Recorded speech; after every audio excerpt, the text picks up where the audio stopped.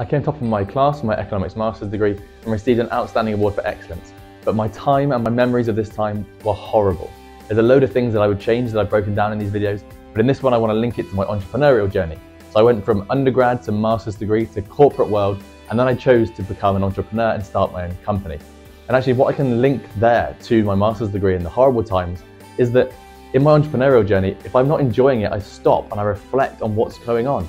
You've got to enjoy that journey. And I know it's such a cliche, but for me, if I'm not enjoying it, I really struggle to go forward. I take a lot more time off when I need it. I try to keep people around me that are super energetic, they're on the same trajectory as me, and hopefully they're ahead of me so I can really bounce off them and take mentorship.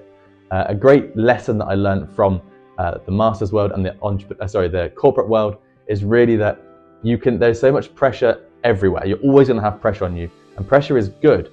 But as long as you've got that foundation of health, people around you that can help, there's always a next step to take.